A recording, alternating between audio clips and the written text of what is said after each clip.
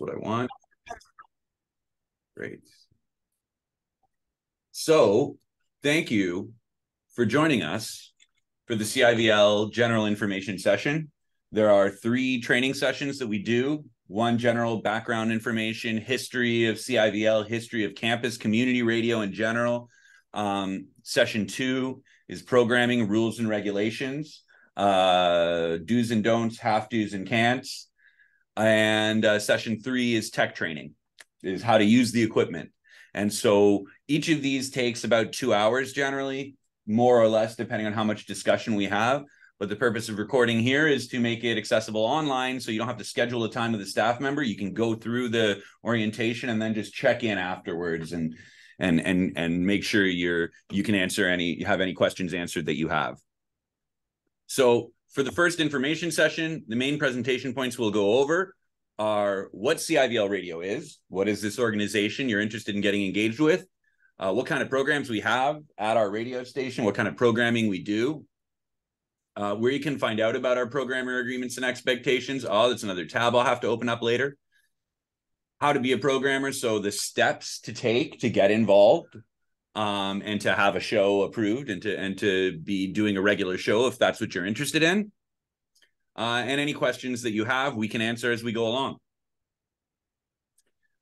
Are there any questions before we get going after we've just looked at that brief overview? Okay, I have Raymond here and then Nicholas and uh, Jack here in the studio, uh, and we're all going to go through this session together. So the first thing we'll talk about is what is campus and community radio specifically or in general, depending on how you want to look at it. We'll talk about what CIVL's mission, values, and goals are as an organization, our specific organization, as opposed to other campus community radio stations where it may differ. We'll talk about that later. A history of CIVL radio. It's going to be a brief history because we have somewhat of a long history at this point. As of this recording, we're producing a, a documentary about our 20 years of our operation. Um, how we are structured, how this organization is structured, but it's also very similar to basically all any nonprofits that you'll get involved with, and most charities as well. And we'll talk about some other campus community radio stations, and that's where we'll see that our mission, values, and goals may be different than some. Although they're all very similar as a whole, because the government actually regulates radio as a whole, and specifically campus and community radio.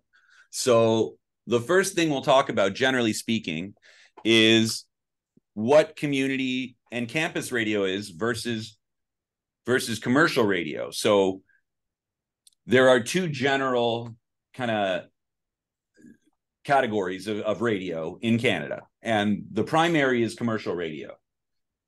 And then there's community radio. And under community radio is also certain stations that are like us, campus stations. So the regulations as a whole apply to all of us. The way you apply for a station, the process you go through, the the technical parameters you have to follow are all the same for both types of stations, uh, but operations are somewhat different between commercial and community radio stations. So first off, what can we talk? Can we think about? Does anybody have a suggestion of what uh, commercial radio station they're familiar with is? 99.3, that's the Fox? I don't even know. that's like something that generates money. So if you ask me, yes, the purpose of commercial radio is to make money. Okay. And it's not it's not a personal opinion, but that is what how it's structured uh, in terms of regulation, legislation, and general operation of a commercial station. So yes, a commercial station is there uh, whoever owns that station, they may by chance, if they own a jazz station, they may love jazz, have a passion for jazz, but they wouldn't be operating a jazz station if it wasn't going to be profitable. Uh, so, in that sense, the commercial operations will focus on uh, on running a, a profitable business. So that means that there's three unique kind of features to a commercial radio uh, that aren't they're not unique in the commercial world, but they're unique compared to campus community radio. So those features are that a yeah, their goal is to turn a profit to get the most listenership as possible so that they can sell advertising to that listenership. And in order to ensure that they're going to be commercially successful, financially viable, they're going to make sure that they have staff that are hired to be directed to do the work of operating the radio station in the way that is most profitable. And that is the goal. The goal is not to enrich the community. The goal is not to provide a service to local organizations, groups, or communities. Uh, the goal is to make money. And there are requirements that the government has so that there are communities that can benefit, the business community can benefit, or certain types of, of infrastructure or industry can benefit but ultimately no ownership will be operating a commercial radio station if it's no longer viable. If it's losing money, they're probably going to look at selling the station, moving the station, reorganizing the content of the station. Um, and, the, and the content itself, so the they're looking to make money one they're hiring staff full-time to mostly full-time to to earn them that money and the content that staff are instructed to air is content that will be conducive to making money so on a commercial radio station, like if, if I'm not wrong, in 99.3 is the Fox, it's hard rock. It's popular hard rock music, like Nickelback and uh, uh, throw me some other popular uh, hard rock music, right? Um, um, Green Day. Green Day, they'll play. Very popular band, right? 21 Pilots, probably. Very popular band with popular songs. People will listen, they'll hear that, they'll tune in. And then while they're listening to their favorite hard rock songs, there will be an advertising break. And all the people who tuned in to hear that popular music, we're excited about that music. They're going to hear advertisements that companies have paid for to be on the radio. Uh, and and the ownership wants those listeners to stay listening so that they can sell them, sell their ears as opposed to eyeballs in television. And in fact, in commercial media, uh, they look at two types of two types of stuff that they'll air. They'll air content and they'll air filler. And in commercial radio, the filler is what we would consider the content. The music is the filler. What commercial radio considers the content, and the same in television, the content is the advertising. So the filler is there in order to facilitate advertising being bought, eyeballs and ears being sold. And this makes sense in the commercial market, right? So, but as a result, you won't have volunteers at a commercial radio station. Uh, you'll really rarely have students at a commercial radio station. Sometimes there will be from a professional broadcast program, co-op opportunities or practicum placements, these kinds of things.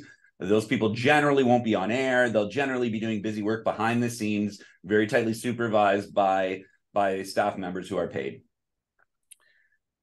So, on the contrary, community radio is something that in the 1970s the Canadian government legislated to create uh, legislative infrastructure for in order to provide if we're all only operating on camp on community sorry if we're only operating on commercial radio and all of the frequencies in canada are taken up by commercial radio that is intended to earn and make money uh, then that means that individual canadians who aren't doing something profitable will not have access to the frequencies to the airwaves. They won't be able to engage. They won't be able to uh, promote or uh, platform content or ideas or topics. Uh, and they won't be able to make selections that reflect their experiences, their ideas, their needs, their communities.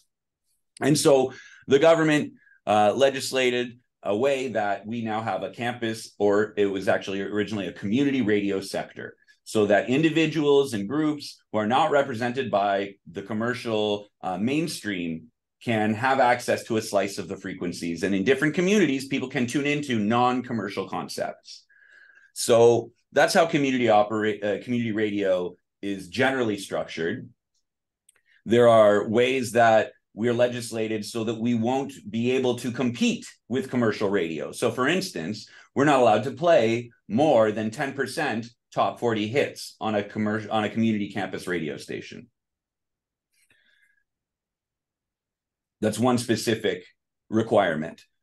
We're also not allowed to, even if we're not playing hits, if we did have great connections in the community, at the point of applying for our license, we tell the government how much advertising income we expect to be earning off of the community. So presumably we're going to be earning that off of the same types of businesses that are paying local com- commercial stations And so the government wants to know, well, how much of an impact on that market are you going to make?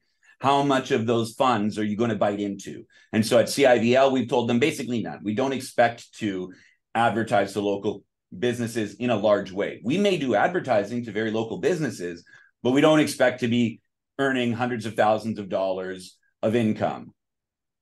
Uh, that would that would uh, threaten commercial radio's ability to earn that money from those same businesses. Uh, and it is the government's goal that each individual commercial radio station will be as financially successful as possible. So they legislate for the purpose of uh, ensuring that the, the the GDP as contributed to by commercial radio endeavors uh, is growing at all times. And so a com- community radio station breaking into that would harm the the ultimate commercial radio GDP. Now, there are numbers that break down how much money is made by commercial radio, by community radio, by indigenous radio stations who are also similarly licensed to community radio stations. Um, but that is that is one significant piece of how regulation works for commercial versus community radio. So we talked about those three pieces: uh, the funding, the staffing, and the content of a commercial radio station. So let's look at community. So for community radio station, we do generally have staff at community radio stations but not all community radio stations have staff. Some community radio stations in Canada operate on like $500, $500 a year. So not enough to pay staff to work for them. Uh, and it's basically completely volunteer run. Most campus radio stations like CIVL will have some full-time staff or some part-time staff. At CIVL, we have two full-time and a number of part-time staff members. Uh, at the oldest and most successful campus radio stations in Canada, you'll have between five to eight full time staff members at Calgary, the University of Guelph, uh, UBC. They all have at least three to five different full time staff members. Uh, maybe a promotions director and a volunteer coordinator and a programming manager and a technical coordinator, and all these people have full time jobs. At CIVL, we have I'm a station manager. We have a program manager who's a co op student that changes every semester, every every year, depending on how many terms the co op student uses. And then we have a part time music director. We have part time newscasters and other part time roles on occasion. So that's how the staffing looks. We're not. Uh, that's how the staffing looks. The staff are responsible for doing what we're doing now training, uh, doing outreach, uh, recruiting folks and supervising and facilitating for them to engage on the radio with the content that is important to them, irrespective of how profitable it might be or how popular it might be. The idea is that we're activating and providing agency to individuals and groups that don't have those opportunities on commercial radio. So the staff's job is to activate and support volunteers at a community radio station. Question. Uh, with the rise of Spotify and SoundCloud, have you seen numbers take a hit? Or... The que- okay, so the question, if we can't hear the question, yeah, with Spotify, SoundCloud, everything's online, podcasting. Yeah. Do people even want to produce radio? Yeah. So, like, what we've seen, I don't know about specifically based on that. Right. What I know is that across the sector, community and campus radio in Canada, stations have experienced about a 40% drop in engagement of volunteers since COVID, specifically since COVID, yeah. right? Now, asking if you're asking me, who I've been working in community campus radio for 20 years now, um, and here specifically for for now 13 years, um, yes, uh, people are less interested in being on the radio. They're less interested in listening to the radio. Obviously, there's more people listening to Spotify. Uh, there's more listen people listening to podcasts in general. But so, for instance, at CIVL, that's why we made sure that our new website uh, will log every program, will allow us to subscribe to those podcasts automatically. So, it's essentially, if you want to put together a podcast, you can do that by hosting your show at CIVL. It will be a podcast. Okay. Yeah, there's also been the rise of a satellite. Radio. Satellite radio, XM, and Sirius radio have have that's that's been going on for like 15 years now. Oh, Keep in mind, CIVL has been podcasting We've had RSS feeds since 2008. So this is something that we've known with technology growing is going to impact the sector. It doesn't necessarily have to draw away from the sector, but I think our challenge is to let people know that well, if you want to put together a podcast, doing a weekly radio show, technically well, long before podcasts ever existed, somebody coming into a campus or a community radio station and doing their hour a week on air, that's that's basically the same format as a podcast. Um, as opposed to you know the the the traditional radio jock who who does their you know nine 6 a.m. to 10 a.m. slot every morning uh, on commercial radio or their you know their afternoon drive their three to six afternoon drive slot on commercial radio um, people would come in once a week for an hour maybe two hours that's more similar to the podcast uh, format that we know of course there are daily podcasts that are produced by all sorts of different groups cbc has them the globe and mail has them uh, Democracy Now is a uh, an American program, news program that does a podcast of their radio program every day, and they're ca- they're carried on many campus radio stations and community radio stations. So doesn't really give you an answer so much to that question, but it but it kind of gives a broader picture of what's happening. Right. Um, so yeah, we'd love for people to put together podcasts that we air. If you call them a podcast, fine. I think everything we do on the radio is ostensibly a podcast here. We can make it a podcast and we provide you with the facility the studio the tools and the broadcast mechanism um, to, to share your podcast. Um, good question. And it's a little more about that content right? So the staff are facilitating for volunteers to put together that content. Sometimes staff do their own programming as well. Uh, but the content is reflective of those individual volunteers i as a staff member no other staff member will be telling you you have to program this kind of content. You're coming to me with your ideas. Maybe not you as individuals, but some individuals will come and they'll say, I want to do a surf show, a show about surfing, or a show about mountain climbing, or a show about uh, punk music, or a show about K pop music, or whatever it is. And it's our responsibility as staff to help you do that. And that's all based on what your interest is which is basically the opposite of commercial radio, where, okay, you may decide you'll apply for a job at a country station because you want to play country music uh, or announce country music, but the bosses are going to be telling you which country songs and, you know, give you very strict parameters of what you say about those songs. You won't be able to talk politics uh, however you like unless it aligns exactly with what ownership is looking for. Um, and we can see examples in the in the commercial realm where uh, on-air jocks have gotten in trouble for branching out uh, from what ownership wants. And that isn't to say that there's nothing you can do on community radio that you'll be told you can't. There are rules and regulations you have to follow through with. But by and large, at CIVL and most campus community radio stations, we regulate for you to stick within the broader Canadian government regulations. Um, and that's about it as long as you're following the rules and then the rules we implement here at our station in order to make it so that we can follow through with those rules you're you're you're gravy. You're doing you're doing your job. So we've talked about personnel volunteer at community radio staff primarily at commercial radio content uh, up to the volunteers what kind of content they want to air versus commercial radio where you're kind of prescribed what you're going to air. Uh, what about the funding? If commercial radio makes their money selling advertisements to their listeners, how do campus radio stations make money? More just local sponsorships or like local advertisements. So that's one way. Local advertisements is one way. Uh, but of course, I I lifted the curtain back a little bit and showed you what the wizard is doing, and I said, no, we don't plan to sell advertising really. So where else do you think it comes from? Uh, is there a budget from the campus? Taxes. So I got two thoughts, Raymond. What were you thinking? Is there a budget from the school? So Raymond says a budget for this school. Nicholas says from student taxes. And let's put those two together because uh, technically there are not student taxes, uh, but similarly to the way, yeah, we pay taxes on everything uh, when we buy, when we uh, work, when we uh, when we when we make certain expenses or investments and things like this. We're taxed on it at the end of the year students don't pay taxes, so to speak, but we are student funded. Um, so, Raymond, there is a budget and it does come from student payments, but we don't look at it as a tax. We look at it as their student fees, which at UFV, there are three student fees, three organizations you'll pay student fees to. At UBC, at U of Calgary, University of Guelph, my alma mater, you'll pay student fees to a dozen or dozens of different groups, organizations. There will be a queer society and maybe a, you know, a Caribbean Student Society and maybe a Christian Fellowship and so on and so forth. All sorts of different student groups will be earning a student fee every semester and generally also asking students whether or not they will fund new societies or fund active societies more than they already have, or sometimes even to fund less.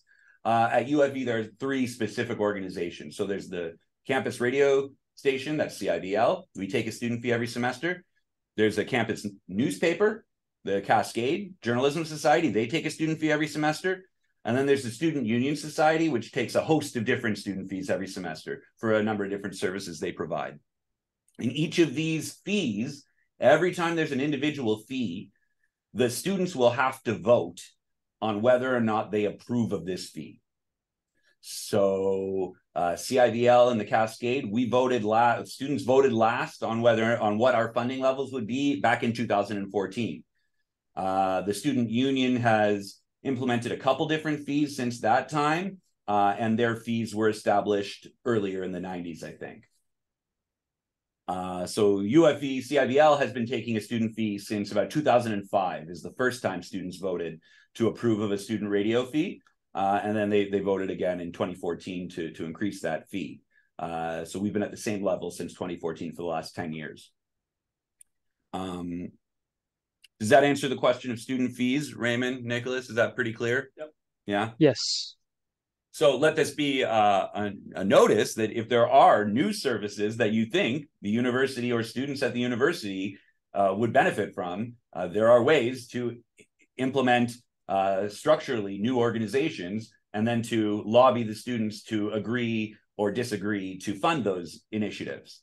Um, keep that in mind. I'm always happy to talk about those initiatives. I think we need more of them at UFV. Um, yeah.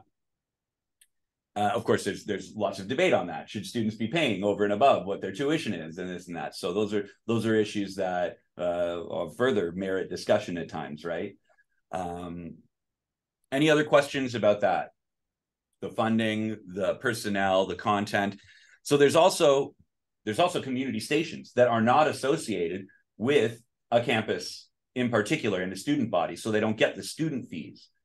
And so how do they? You mentioned one, Jack, the uh, the the the sponsorships and small business advertising, right? So that is a huge piece of what commercial, sorry, of what community radio stations do. And as a result, in order to a- attract that kind of advertising and sponsorship, community stations are actually allowed to play more top 40 hits than just the 10% that campuses are allowed to. They still don't play very many, uh, but they're allowed to play more. And so, sponsorship, advertising, another way. What other ways can we think of them being funded? Community stations that aren't at a university. Um, they could be like um, provincially or municipality funded. So, depending on where you are, where you live, maybe the municipality is interested in funding.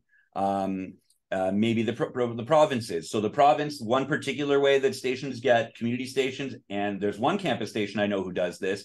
The University of Victoria actually gets BC gaming funds. So when you buy the lottery or when there's a 50-50 draw somewhere, uh, the government takes fees, payments, all sorts of taxes off of this and redistributes those funds into uh, environment projects, public safety projects, uh, local sport initiatives, and also arts and culture projects. So uh, the University of Victoria's radio station CFUV, they get BC gaming money every year. It's operational funding for them to be able to uh, supplement their income and, and operate in their community. There's a community station in Smithers, BC, which is a small community station, which does also get uh, annual BC gaming funds. So that is one uh, available option. There aren't a lot of stations that do that, but broadly, government grants are one way the community stations will be funded, uh, whether it's provincial or federal or municipal. So all, all all three of those those levels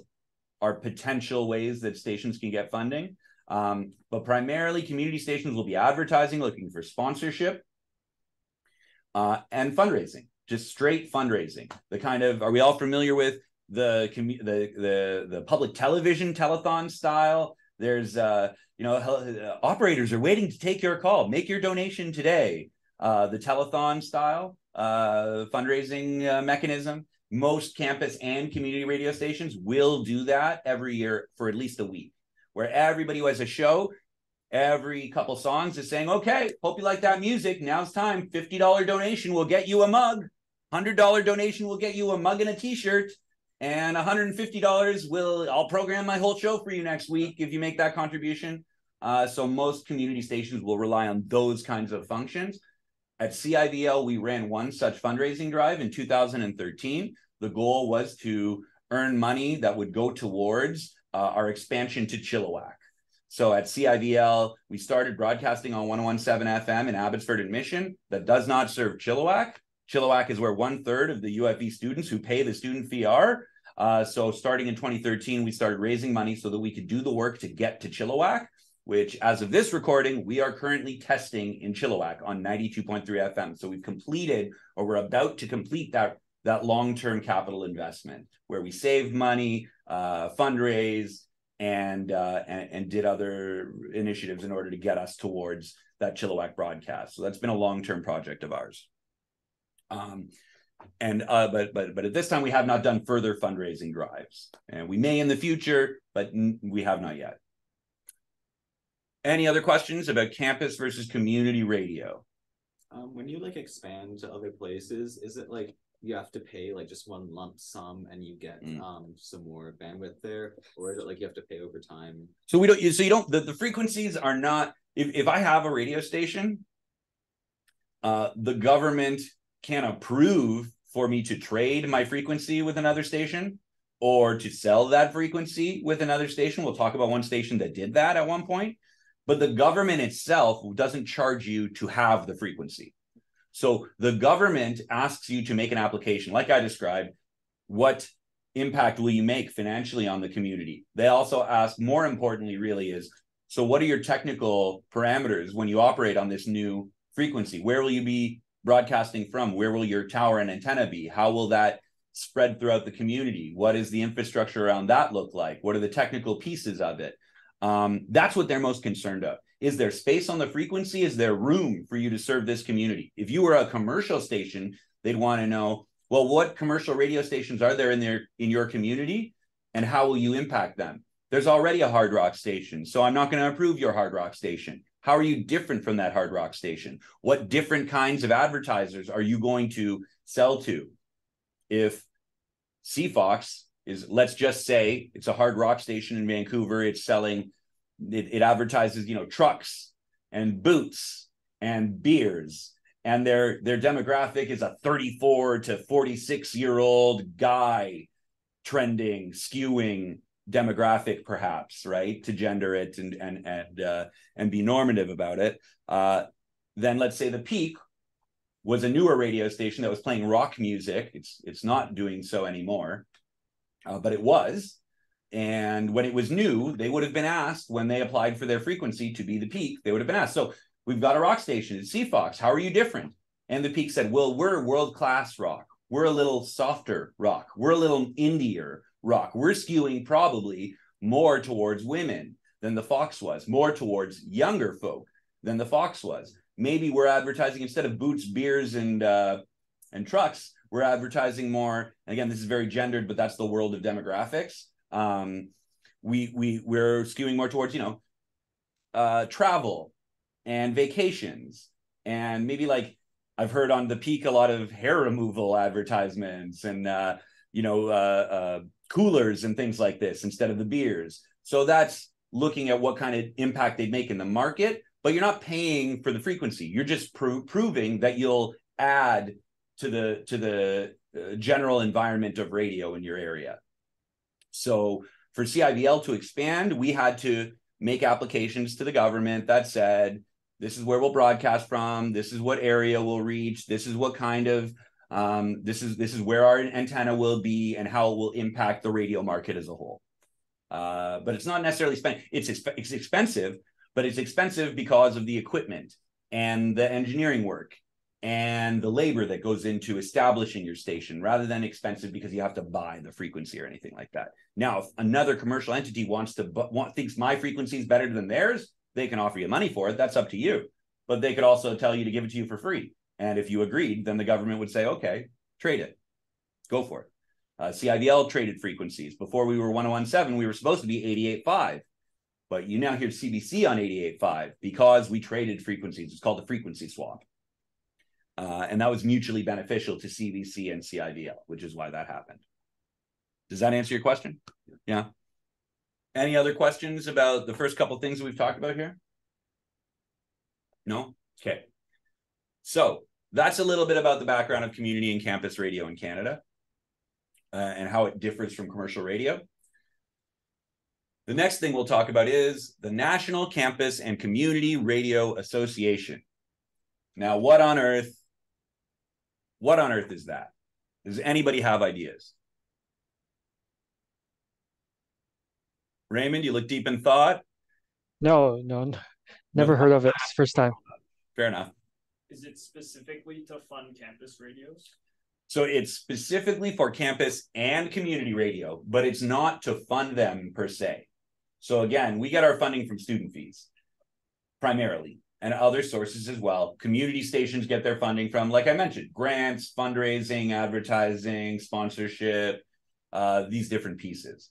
So no, not, not it's not there to fund us, but it's there to support us for sure, specifically for campus and community radio stations. So the way I describe it is they're like a guild or even a union. Okay. If you're a plumber or an electrician, you may have, uh, or you probably are required to have membership in like the BC Plumbers Guild or Association, or you know, you're accredited depending on what your professional uh, role is, right? Doctors have to be approved by the provincial medical authority uh, association and whatnot. Um, so some of these are regulatory bodies, others more in the guild arena uh, than in the accreditory arena uh, would be more to skill develop.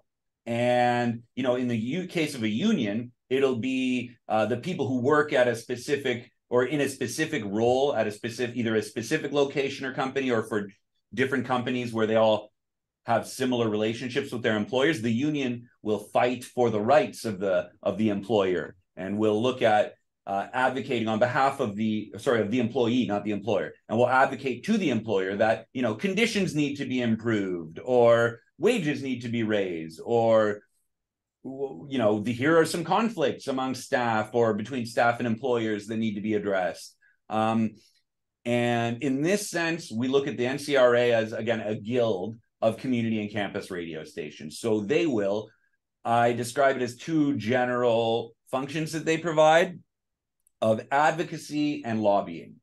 Sorry, advocacy and support is really what I say. So advocacy looks like lobbying. Uh, lobbying is when you know the oil sector or the energy sector or the tobacco sector or the milk sector or the dairy sector really or all these other different groups or vocations or businesses will have will they will pay for lobbyists these people named called lobbyists who are uh, re- registered with the government and their job is to convince legislators and the staff of legislators to make legislation that benefits the dairy interests the blueberry farmers interests the oil companies interests the tobacco all sorts um, and so the ncra actually also does lobbying on behalf of community and campus radio stations. So they pay for registered lobbyists to advocate to legislators on our behalf. These things would be better for campus community radio. The rules could be changed this or that way that would uh, alleviate burdens, that would uh, allow for more funding or more access or more support for these stations. So that is one significant role of the NCRA is to lobby government, lobby um, in general, not necessarily only federal government or provincial government, but work with other industries, whether it's the advertising sector, uh, maybe it's the broadcast sector itself, coming up with tools that would benefit community campus radio. Uh, that's one role of the NCRA. But we're going to look at their website now. We're going to talk all about some of the functions they provide. So, uh, here we go to the old website of the National Campus Community Radio Association. They have a new website, but I like some of the fun, some of the uh, features of the old website. So, for instance, we can see here they have little dots for all the different stations in Canada, and it's not actually all of them, but it's a good chunk of them. So, if we hover over a dot, we'll see What station is there? CILU Thunder Bay at Laurentian University in Thunder Bay. Or is that Lakehead? I think maybe that's Lakehead. Uh, let's take a step back for a second and say how many stations, how many radio stations do we think there are in Canada as a whole, community and commercial stations? Quite a bit. um, Get throw out a number. Um, fifty. 250. 50, 250. Raymond, what do you think? Um, almost a thousand. Yeah, it's actually so Raymond, uh, Price is Right rules. Are we all familiar with Price is Right rules? You, the closest without going over is the winner. Raymond wins Price is Right rules right now. RIP Bob Barker. It's only been a week or two since he died. Um, yeah, there's about 12, 1300 can- uh, radio stations as a whole in Canada. And when you think about it, you know, 11 provinces, three territories, uh, it's about 100 stations per per parcel of territory or province. Um, you think about, you know, a large city like Vancouver, Toronto, Montreal, that's probably going to have at least like 10 radio stations there.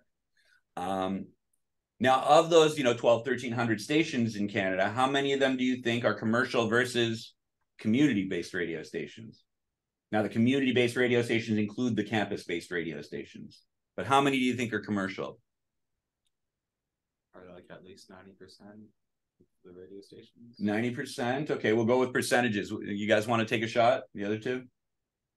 I mean, I think uh, community radios would usually boil down to like universities and like maybe uh, churches, but like that.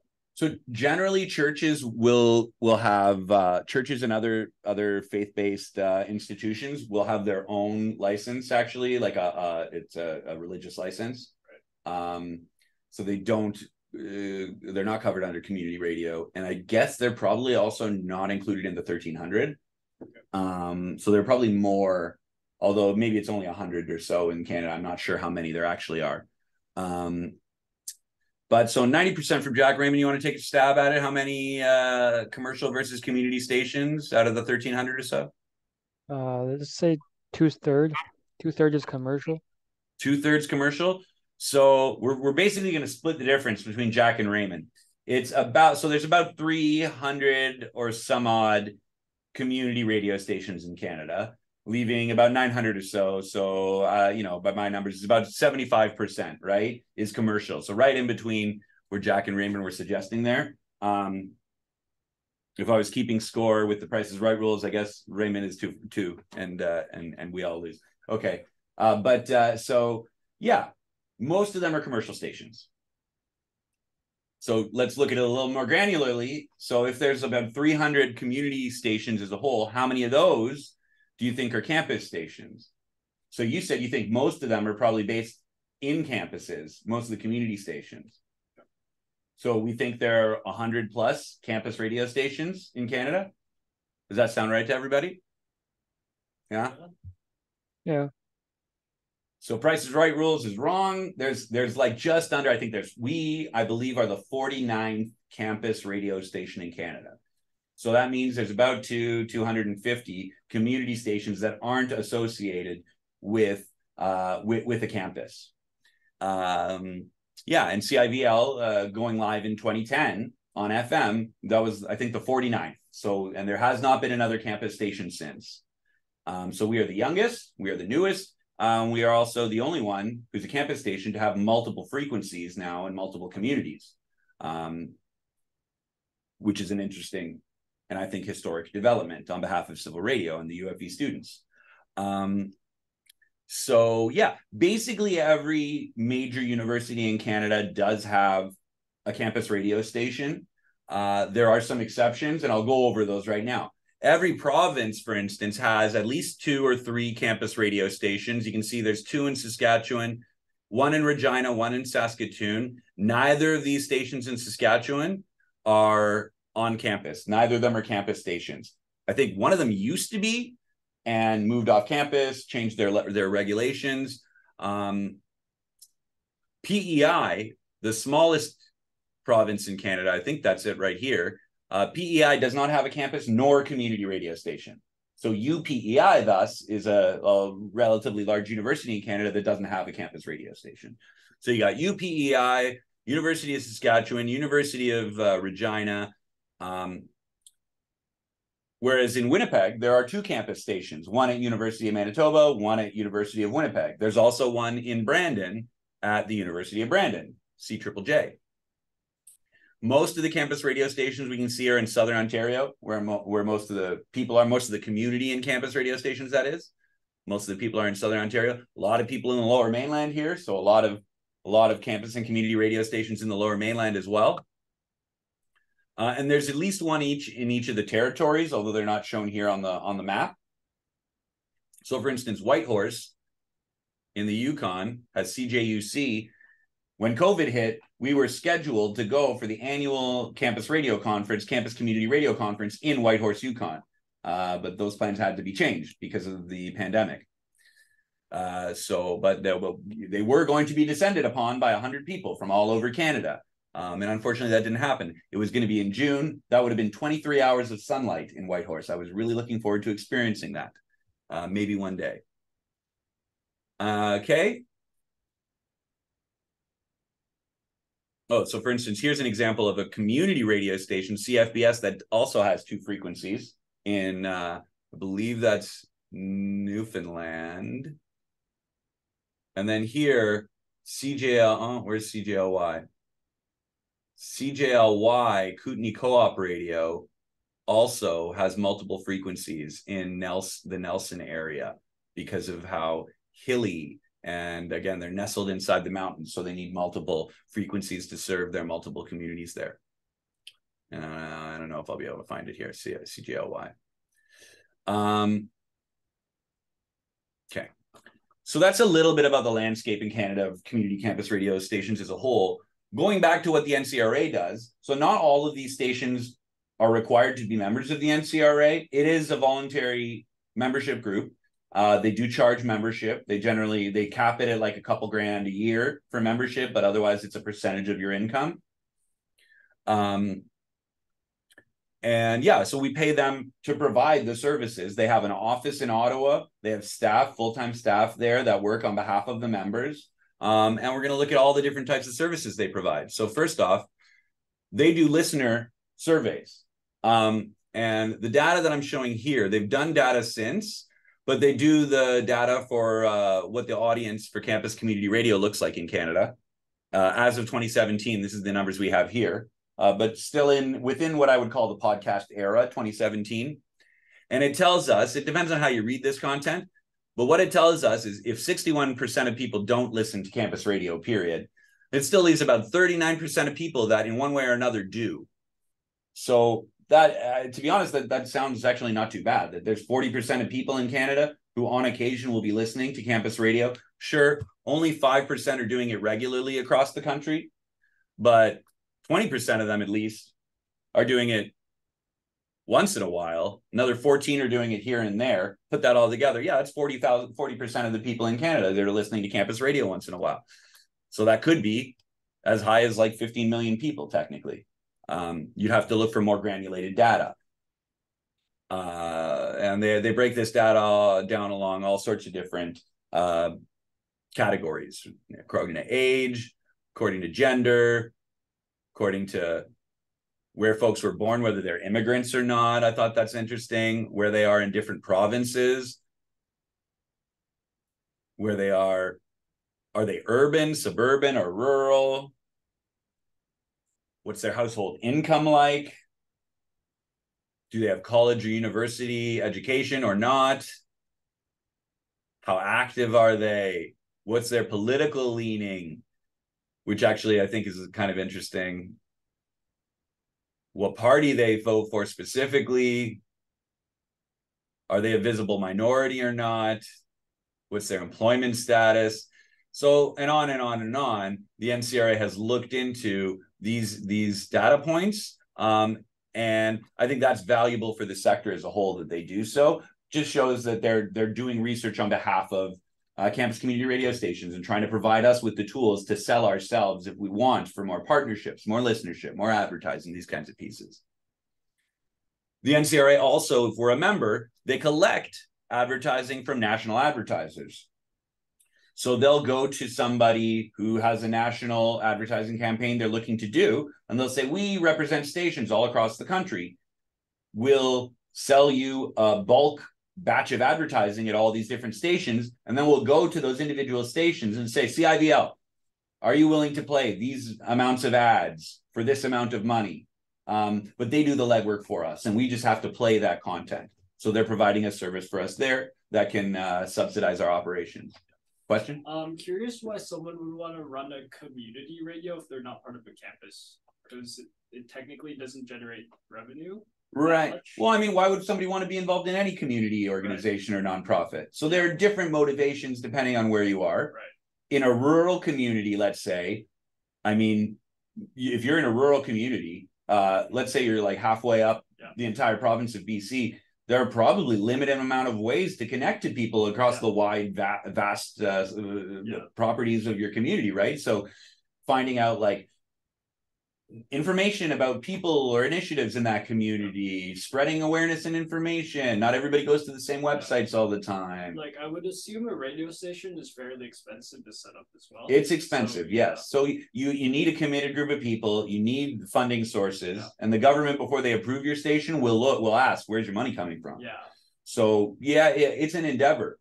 Um, I can't speak to necessarily the motivations beyond you know my own biased perspective of thinking campus and community radio is like a really important cultural force in. Canada. Um, and could be in other places and is in other places. Uh, in Australia, there are, there's really good work being done there uh, from community radio stations that focuses on prisoner justice.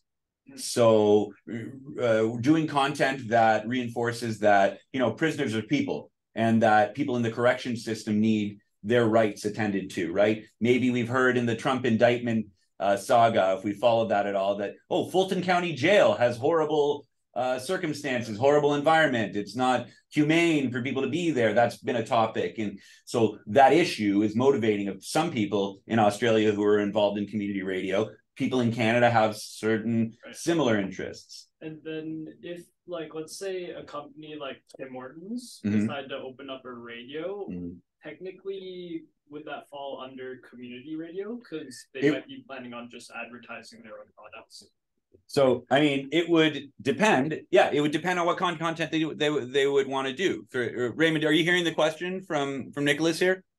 Yes. So, so yeah, if Tim Hortons again, it, it, it depends on what uh on what their interest is. Right. Yeah, if they wanted to run an advertisement for Tim Hortons Yeah. radio station, uh, the government would consider that as it is. It's a commercial radio station. Now, if Tim Hortons wanted to be the funder of a community radio station that operated as a community radio station, you know, perhaps they could start a charity and the charity would start a nonprofit and the nonprofit would get a radio station and the charity would fund the radio station and Tim Hortons would get tax write-offs for the Yeah. investment they make in the charity that would donate their money to the radio station that would fund those operations but of course that nonprofit operation of the radio station would have to be nonprofit Yeah. would have to invest what they earn back into the organization maybe they wouldn't earn at all and they would just keep it going and it wouldn't be Tim Hortons advertising necessarily But why would they be considered a commercial radio if they're paying out of their own pocket to fund the station?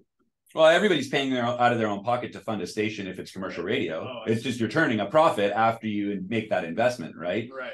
But the profit's not coming into the radio station, more so the company where it's selling their So it's the it's the focus of the content really that the government will will legislate based Okay. upon, right? It's it's are you programming uh for popularity for mainstream interests, in which case you'd be a commercial station. If you're programming the I mean, look, the the the unique factor of the community radio station is the volunteer engagement. right. Um, So let's say Tim Hortons, uh, let's look at it a different way. Yeah. Tim Hortons starts a radio, maybe their community radio station focuses on specifically talking about coffee. Maybe it's a coffee radio station. So it's sponsored by Tim Hortons. But like, what are we talking? We're talking about Arabica versus other types Yeah. of beans. And we're talking about like farming and how you farm and like different practices in doing that and collecting and what the international market of coffee looks like. You know, Tim Hortons does a lot of promotion of their camp days, uh, youth involvement, and working with like collectives in South America to buy more ethical beans and things like this. And maybe that's what the content's focused on. And they're funding this radio station so that people can come in and volunteer to do that content. The the hybrid model you suggest is very unique. It's it's an outlier. Uh, so this is my attempt at answering that question. Yeah. But yeah, generally it's based on the engagement of the community, the accessibility of the resource, um, and the and the variety of information that's being shared. I think. Right. Does that does that make sense? Yeah. Yeah. Um. So we've okay, we've talked a little bit about the advertising from the NCRA, the listener numbers they put together. Here's information about their their Canadian ads uh, program, where they try to develop more na- of those national ads to to share with different stations to do more of that legwork. They have here a tome of a web page, and this is what UFV students would have gone to back in about 2003 or four. They would have said, "Well, I want to start a campus community radio station. How do I do it?" And then they would have read through all of this. Why campus community radio? Bringing marginalized voices to the airwaves and highlighting Canadian artists in your locality. That's what the NCRA defines as the reason that you would start campus radio. What's the mandate? It guarantees local broadcasting services through community ownership, which means the community stations cannot be privately purchased or for profit by a for profit organization. It permits and facilitates communication among members of the community, fostering diverse diversity in the broadcast of opinions and spoken word and political and musical programming. Participates in the stimulation of the local economy, endeavors and uh, in the cultural enrichment of communities, and reflects the diversity of the communities served. So those are the focuses. If Tim Hortons wants to contribute to that, they can, but those operations would have to be arm's length from from their commercial efforts. Um, but so anyway, the, this page takes us through. It explains a little bit about Type B native broadcasts, religious licenses, which you asked about, some developmental licenses for stations that aren't necessarily ready to be full time broadcasters. Specifically, ethnic stations. We have uh, Red FM 93.1 based in Surrey uh, that specifically serves Punjabi uh, language content. And they're all, all of these different uh, sectors are, are regulated slightly differently. But so somebody wanted to start a new station would go to the NCRA and they would read through this content. They'd follow up on some of these links. They'd also probably call the office and say, "Hey, Barry, who is the station, the executive director now, walk me through. Tell me what I need to know that I'm not already thinking about in starting a radio station." Uh, so that's a that's a primary focus of the NCRA is helping you start a new radio station. Now, many cam- many community radio stations have started in the last 13 years since CIVL started, uh, but no new campus stations have gotten off the ground. Toronto Metropolitan University it used to be called Ryerson. They were actually one of the first broadcasters in Toronto, and they were the first campus broadcaster in Toronto. They lost their license in 2011 for a variety of reasons we won't get into here. And then the students started up a new AM radio station uh, within the last five to eight years to replace that old station. So that student body lost and regained a radio station since CIVL started. I tend to not count them because it's the same student fee they're Yeah. taking and this and that and the other. But uh, not to take anything away with the people who established that radio station. And we've partnered with them. We actually built our websites together, uh, CJRU 1280 AM. So you'll notice if you go to the websites, they look exactly the same because we we developed our websites at the same time with the same provider um, in cooperation. Setting up the campus station, done. Uh, another really valuable service that the NCRA provides is their listservs. So we're in touch. I'm in touch. My inbox is full every day of different messages through the NCRA. Uh, people communicating, either the staff from the NCRA, board from the NCRA, or people, volunteers and staff members from other stations around the country uh, on a variety of different topics. And so a listserv is basically like a Google group, or it's like a Slack chat, basically. Um, but it shows up in your email, and there are different uh, topics for each listserv. So if I send an email, if once I've registered, if you're a, you're a volunteer, you can register to any one of these lists if you like, and then you'll be updated with all the emails that get sent to NCRA members. and all the questions and discussion that takes place there. If we were on the Atlantic list, if we were on the Atlantic side of Canada, we could participate in the. We probably can't anyway, but the the the relevance would be low. Uh, but so different groups for Atlantic stations, Quebec stations, Ontario stations, Northern stations, Prairie stations, Pacific stations. There's a list for community stations, a list for campus stations, a list for Aboriginal or Indigenous stations. There's a sales list, a fundraising list, a list for programming, a list for music, a list for volunteers, a list for women, a list for gender and sexual minorities, a technical list, a news list, and an earshot list. And we'll talk about what earshot is in a little bit. But the idea being, if you're a technical volunteer, you can participate in the technical list. And if you have a technical question that the staff and board at your station can't answer, you'll send it out to the other technical people from the NCRA. And so maybe CIVL will ask a question and Halifax will answer it. And then Winnipeg will see that answer from Halifax and they'll say, Hey, Halifax, I agree. That is a good way to fix that piece of equipment. However, only in the short term. If you do it for more than five years, the equipment blows up. Instead, do it like this. And then Winnipeg, through Abbotsford asking a question, helps Halifax and Abbotsford both refine their technical operations. It's a crude example. Right. So this is a bit unrelated, but uh, technically community radios, because they're funded by the community and they're helped a bit by the government and unions, technically they would be operating at a loss, right?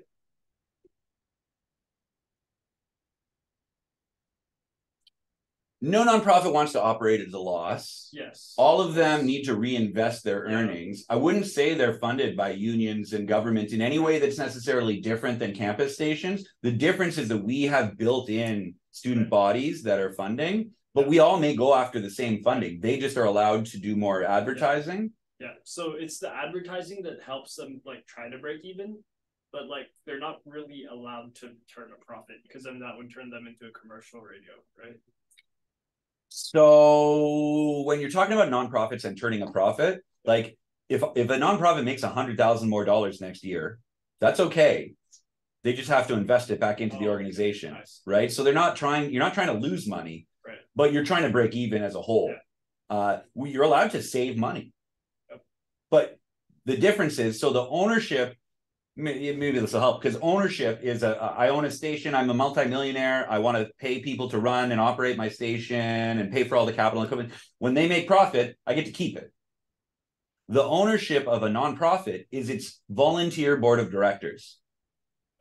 So that volunteer board of directors, nobody ever makes money off of that station. That's for all nonprofits and charities. Some individual charity or nonprofit board members are allowed to make money sometimes under certain circumstances usually when they're contributing if i'm like an accountant that sits on a nonprofit board of directors that that that society can pay me to do their books let's say.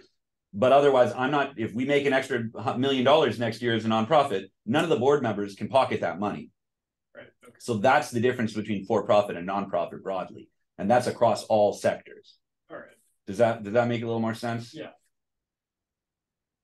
Um, but yeah, so the list serve is a way that we can all engage um, on these different topics. If it's a technical, I just kind of explain crudely how how we might we talk about uh, technical pieces. But let's say the fundraising list. You know, a new board member um, to a to a campus radio station may ask that very specific question let's say. If nobody is there to answer that question at their station and they'll send it to the fundraising list. Hey guys uh, i have a plan to make $500000 next year in our fundraising drive. Does that make us a for-profit station? And then somebody will respond on the list that'll say hey this is how that works. It's not like that. Um, and then we're all a party to that discussion. Sometimes those discussions will be around bill c18 or bill c11 which is legislation right now that's stopping news uh, from being shared on Facebook or Instagram in Canada. Uh, and so there's lots of discussion about that and lots of disagreement about that. Sometimes it's about, uh, you know, how do we properly acknowledge Indigenous groups at our radio stations or among NCRA stations? And there will be maybe disagreement or agreement on those.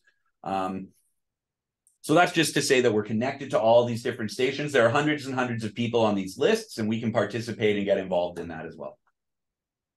So that's the list serve. Up it up, up, up it up, up. And let's go back to conferences. So I mentioned briefly the conference earlier. uh, every year, and the conference actually predates the NCRA itself. So the first conference was 40 something years ago. I think it was like 1984, 1980. Oh, here we go. 1981 was the first conference. And I believe it was later that year that the NCRA established as an organization. But in 1981, for the first time in Ottawa, campus community radio stations in Canada came together, and they've done so almost every single year since um, at a different place in the country. In Abbotsford, we actually hosted in 2017 which meant that for a week uh, in Everett Hall, directly across the building from us, uh, for one whole week, there were 115 different people from all across the country. Most of them stayed at uh, Lalem Baker, the, the residence building on campus. Uh, so the university made $20,000 hosting all those people from all across the country, charging them to stay at Baker House. Um, uh, and we scheduled a week's worth of programming. So lectures, workshops, uh, different events and musical presentations, and also uh, an award show where we uh, recognize the best in campus community radio. Um, so generally, these days it's about a three-day event uh, with evening keynote speeches and different uh, celebrations. Uh, generally, uh, opportunities for people to visit lo- different locations in town, get to know the different places you're in. so, like I said, we were going to go to Whitehorse. This past June, we went to Calgary. The next two conferences will be in Cape Breton next year, uh, and it'll be uh, after that in Nanaimo, I believe. Uh, there's also a station manager summit where people in management um, gather once a year. So I went to Ottawa for that last year, and that was valuable for the station. I made some connections with government officials that were helpful for a tower. Um, so that's a bit about the conference. The idea about the conference is through the listserv, uh, and you don't have to participate in the listserv to get engaged with this, but I, as a station manager, will receive a call out, let's say in January or February, and it'll say, Hey, Cape Breton is seeking your input for next year's, for this coming conference in five months. And so I'll have the opportunity, as will the volunteers, to say, Well, I'd like to be receiving these training sessions at the conference. Or maybe you think you can lead a training session. Uh, I'd like to lead a session that talks about the business of nonprofit radio. Maybe it seems like you're interested in that, right? Or Raymond, you're interested in the technical pieces. Raymond wants to lead a session uh, about checking for campus radio. Uh, or maybe you want to just participate in a workshop or a roundtable with other people and share and exchange ideas and foster discussion. Um, or maybe, again, you want to be receiving leadership on different topics that you want to enrich yourself in. So we get a chance to help prepare and plan or at least provide input into the, how the conference works in advance. Um, but also, students can go and present at these conferences. So then you have on your resume, hey, I, I made a presentation as part of a delegation to the National Campus Community Radio Association. 50 people came to my workshop. Uh, and we talked about this and that and the other. These are good re- resume pieces, experience building, good networking opportunities to be there and whatnot. Uh, generally, they're also available in hybrid form. There's also funding to send volunteers. Sometimes we'll send volunteers. CIVL will fund volunteers to go. Also, uh, the the NCRA offers supportive funding as well to attend those conferences. So uh, that's a little bit about the conference every year. We used to, at the conference, also elect the board of directors of the NCRA itself. Uh, that happens at a different time of year now. Every nonprofit will have to have an annual general meeting or an AGM where they set their budget, change any bylaws that are necessary in that year, uh, and also elect their board of directors for the year. And so that that happens over the summer, not exactly at the same time as the conference. It used to be at the conference, but we've separated it from the conference in the last few years. But so that's another opportunity, board of directors membership at the NCRA um, to be part of the, the decision making body that's responsible and that is the ownership of the NCRA, which is another, I think, resume piece, experience building, networking opportunity that I think is valuable. There are lawyers on that board, accountants on that board, just radio professionals who have been doing it for decades. Uh, so valuable people to get in touch with. And you can make a contribution to the sector significantly. There's a job board on the NCRA website. So you may wonder, Aaron, what are you doing in Abbotsford? Well, I saw a job posting long ago. Uh, here it is. December 2010 or yeah, June 2010. They posted for a job. And look, we can see what this what the what the job posting said. It said, here are the qualifications. Oh, it didn't say very much, did it? Um yeah, it really didn't say very much of anything now that I look at it.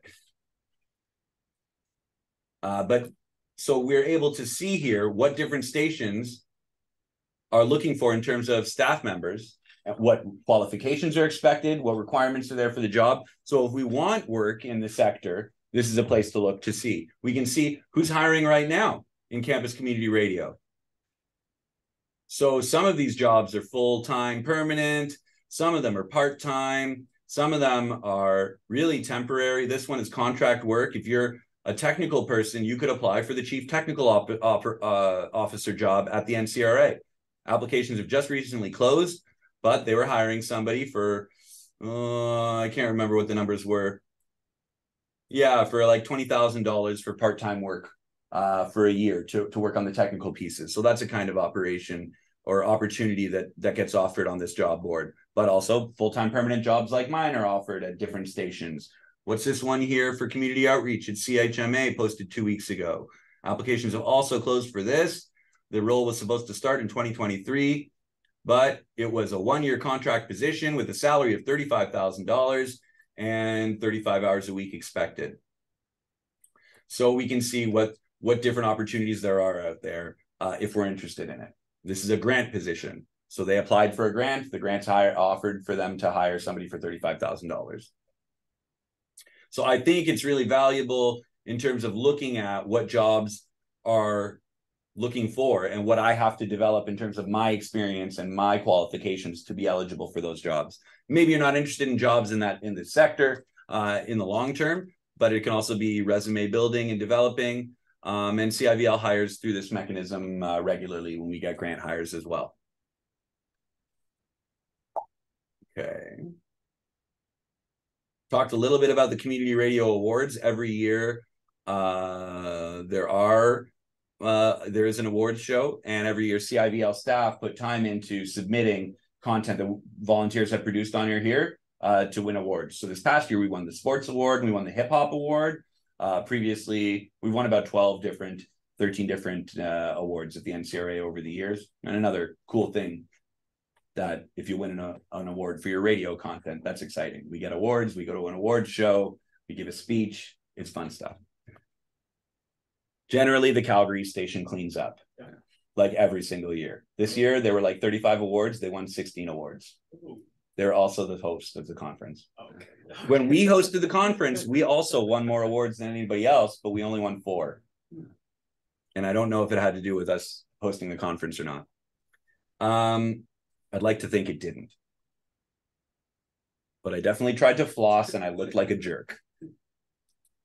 Um, so there's also, I mentioned the board of directors uh, of the NCRA, like as a whole, the national board of directors. There's also committees. If you don't want that responsibility of being a, a national director, you could be on the finance and fundraising committee or the HR policy and governance committee or the external policy committee, which deals more with lobbying, the technical advisory committee, the equity committee, earshot, which we're about to get to, the indigenous committee or the conference committee. I sit on the conference committee. I've been a part of the fundraising committee for a little bit too. Um, and again, this is an opportunity to engage at a national level with people from all across the country working on issues across province uh, that will impact all these different stations potentially. Um, and they're always looking for more volunteer members. And it tells you here, look, what's the workload expected for this committee? Medium, high, low, to give you an idea of, of what, what's expected.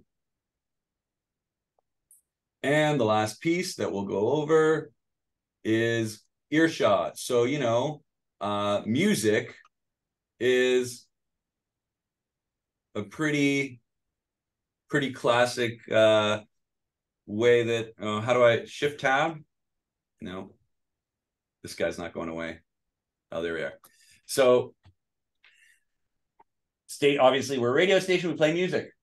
Uh, if you go to our website, you will see that we publish our charts on that website every week. So here's the top 10. If we click further down, we'll see that there's also a top 30. Right. So these are the songs that our music director has found gets played the most at the station. And we report this. We can see all our old charts here as well. And we report them to Earshot. So ear, yeah. Um, so could we do deals with uh upcoming musicians where they pay us to play Mm. their music? So what you're at, what you're describing is a 50 year old scandal that rocked American radio in the 50s or 60s. That Dick Clark from the Rockin' New Year's Eve Gala and Alan Freed, who introduced American youth to rock and roll once upon a time, got caught up into. Uh, it's called payola. You're not supposed to pay for play. So that's so that that came up in the in you know long ago, um, and uh the, the way and now it's a little it's it's a little outdated to think of it that way because you know record labels and promoters are just so expansively involved in in paying for accessibility of their music Right. but it's kind of to a degree like right now nobody gets on a commercial radio station unless a song has been like market tested Right. extra extensively to to know that listeners will be liking what they hear and that they will stick around. So kind of muted that way. At the same time, does that mean that Taylor Swift should be played quite as often as she is? Uh, you know, there's probably some promotional considerations in there. But so the to the direct question that you're asking, are we allowed to take money to promote people? No, we are not. And as a volunteer programmer, we'll talk about it in rules and regulations.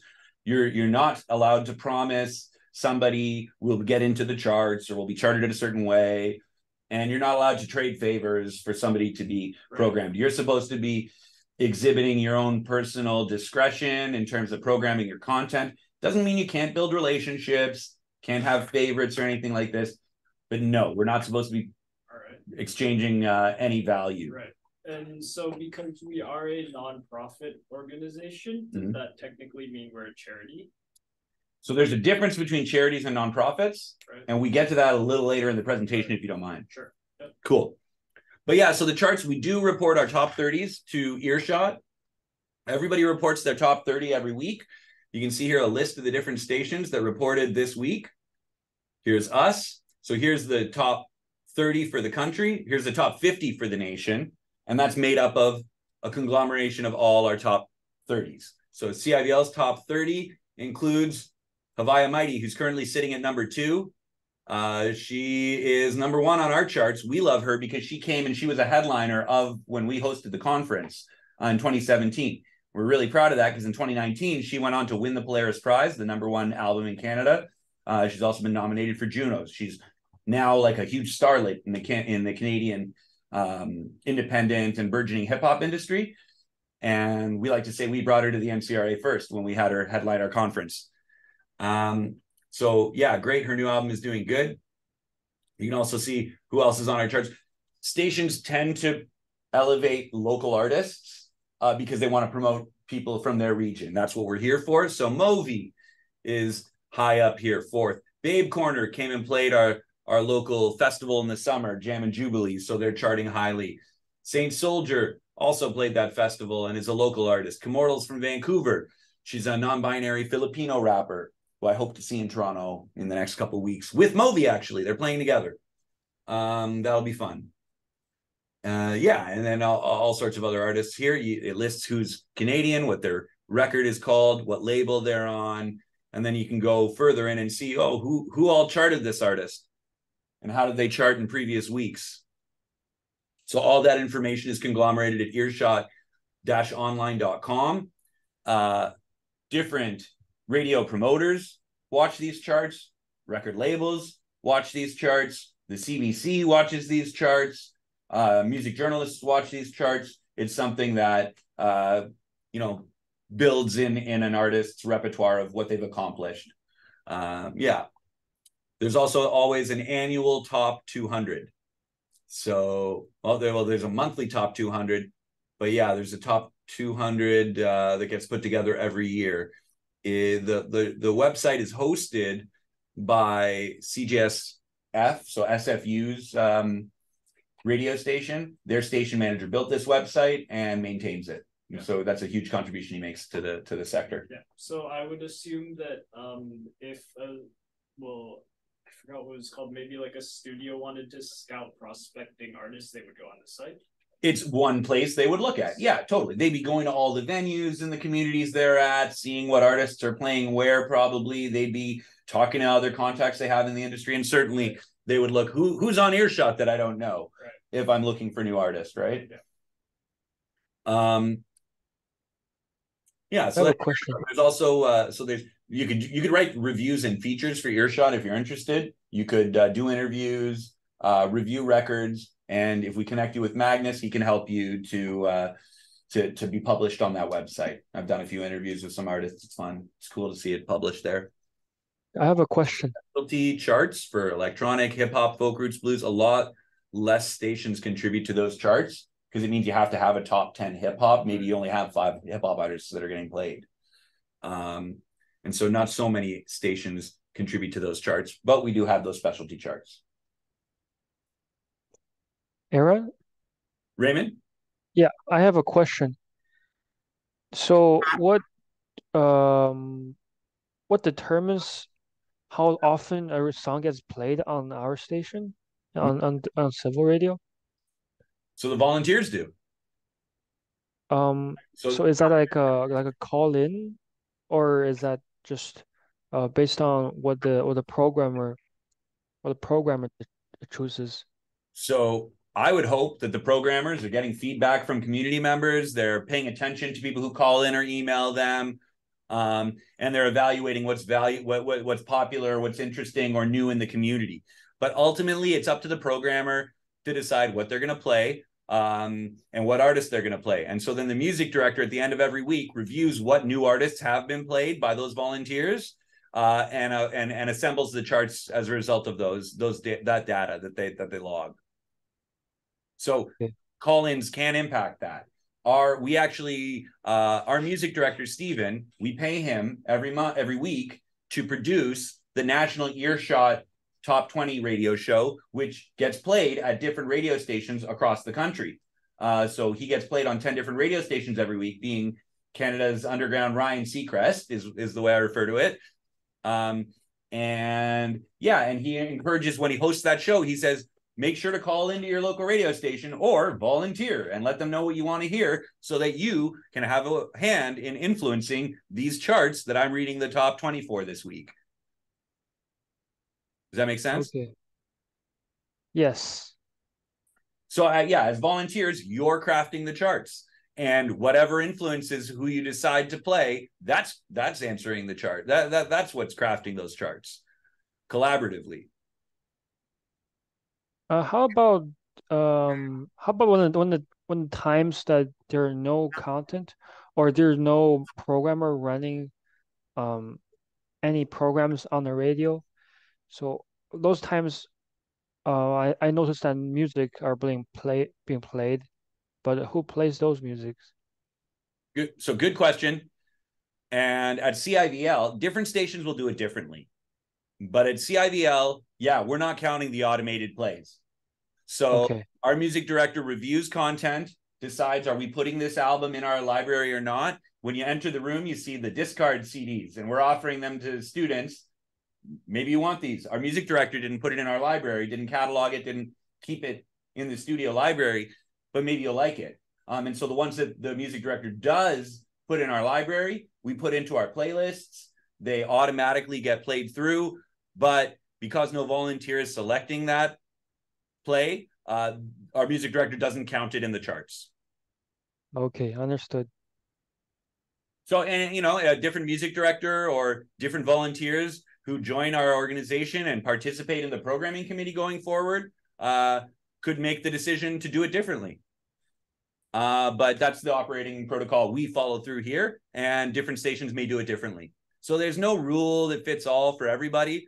Um, but that's that's to answer your question. That's how it looks here.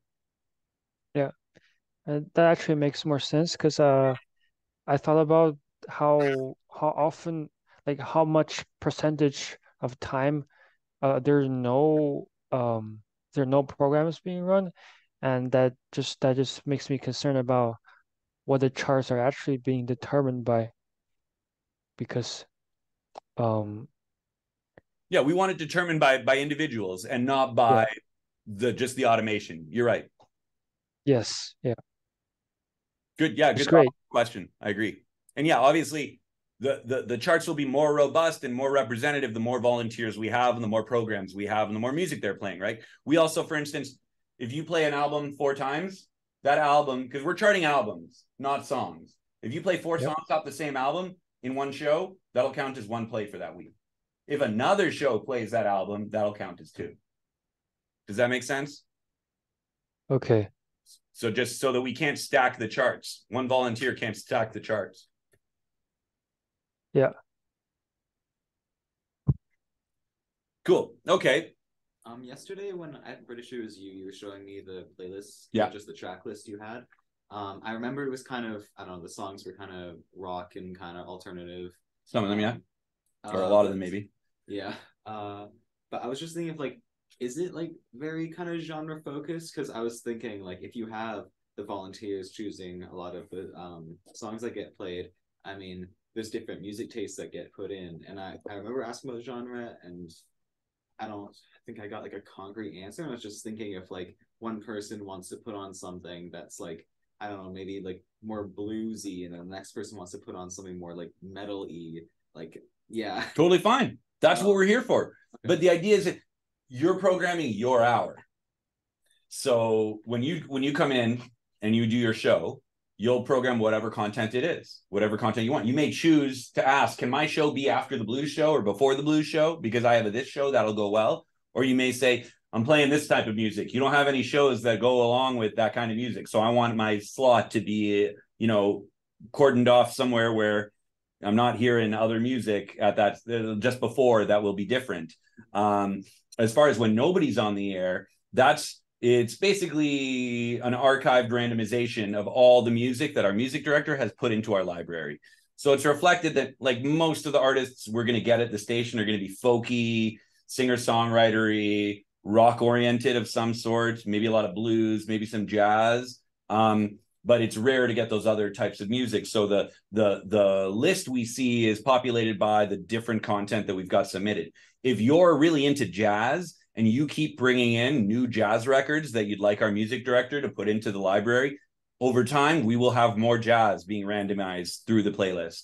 Um, but yeah, it's expected that it's going to be hard one to another. You, you, your question that you didn't get an answer for: What kind of music do you play? We play whatever music, and so it's up to every individual volunteer. I want my hour to be this music, and maybe you don't want it to be one type of music. Maybe you want your your show to be a show where I play uh, a I do a different theme every week, irrespective of genre. Maybe this week it's songs about money. Next week it's songs about hair. Um, all across the genre spectrum, and it's your decision what you air, what kind of content you put together. Okay. Is that a little more clear? Yeah. Yeah. Well, from what I understand, I think the genre is kind of randomized because you're not listening because you want to hear a specific genre, but because you want to be part of the community, which is why it's a community radio. A hundred percent. That is the concept. A, because you want to be a part of the community. B, you want to be re- represented, reflected new things. If I only listen to metal music, well, maybe I'm interested in finding out more different types of music. We have uh, music that I wouldn't naturally be select. Like my algorithm's going to show me on Spotify stuff that's similar to what I listen to. Maybe I want to find something different, and this is the place to do that, or a significant place to do that. Um, but again, yeah, if you want, if you think you'd like to see more this, that, or the other style, like come in, spend some time, talk to our music director, see where you can look into new music that you want to bring in for us, that you want him to process for us and add to those playlists. And that's 100% the idea of, of engaging new volunteers. Okay. Also, with um like the adding music to the library, is that just like you you get the song from like any source where you get the highest quality like you mentioned bring in a record or so people most of the mail we get at the radio station and most radio stations is going to be physical submissions and then a lot of the emails we get, it's getting out of hand really, that our inboxes are just filled with promotional emails with the electronic press kit and the downloads for different artists and their songs and albums. So ultimately, I mean, that is uh that, that that's how we get the content is people solicit us. People are high, it's a huge industry. Um, and in fact, such a big industry that the NCRA has invested capital infrastructure into a platform called the EDDS. It's the Earshot Digital Distribution System. They don't want anybody sending CDs anymore. They want everybody to log into EDDS, upload their music there, and then our music directors can download it from there. And that's also a platform where that's where our music director shares the Earshot 20 show every week on that platform. So they're investing in that platform to be the spot to get music. In the meantime, while it's being developed and, and it's uh, getting off the ground and being improved, all sorts of ways. People send us music, people bring it in and say hi. Uh, an album, an artist will play in town and give us a CD. Uh, so it's all over the place, really. So you, as a volunteer, if you bring us in new music or show us new music, um, let's say you found an artist that hadn't solicited us, we don't have any of their content here. Steven, our music director, uh, may email them and say, "Hey, music director, or hey, uh, promoter person, or manager, or label head, can you send us electronic copies of this album so that we can include it in our library?" And they'll do that, okay. or hopefully they'll do that. Good to move on from Earshot, probably. Yeah. Cool. Yeah. Thanks for taking the time about that. We're going to go back now to our PowerPoint presentation. So that was the NCRA. Hope uh, it was valuable for us to talk about. Our mission, values, and goals. So you're asking society, uh, you're asking about charities. Are we a charity or are we not a charity? Um, so the Societies Act governs all nonprofits. Uh, in BC, there's a National Societies Act for national societies. We are a BC society, CIVL any society, any nonprofit organization can become a charity if they fulfill one of the four categories of charity. Um, and they need some other requirements too. But ultimately, long, long and short of your question is uh, is that radio stations in Canada at this time cannot be eligible to be charities, even community radio stations. So there are a couple. Carleton CKCU is a charity. Co-op Radio CFRO uh, 1027 in Vancouver is a charity, but they are legacy charities. They've been grandparented in that charity status. Um, generally, the, the if you're a nonprofit and you are either educational, so every university in Canada is a charity. Every post-secondary institution is a charity. Uh, education, religion, every temple, mosque, church, what have you, they're all charities. Um, uh, education, religion, easing poverty. So soup kitchens and uh, homeless services, those are also charities. And then the fourth category is contributing to the greater good in society. Uh, so that's like Children's Cancer Society, Heart and Stroke Foundation, Alzheimer's uh, research and support. All these types of organizations can be charitable. When you're a charitable organization, you do have to file different financial documents at the end of the year. There's certain uh, administrative responsibilities you have to follow through with that are particular to being a charity. And then you can also offer when somebody contributes funds to you, if you're not giving them a value back, you can give them a tax write off so that they can tell the government, hey, I made X amount of money, but Y amount of that money was spent on charities. So don't count it as my income, please. And then you don't have to pay as many as much in taxes. Um, but so to answer your question, nonprofits that are radio stations are not eligible to be charities anymore. Uh, so we established as a society in 2005. In June of 2005, the UFV students created the U at the time UCFV Campus Community Radio Society, updated so that we're now the UFV Campus Community Radio Society.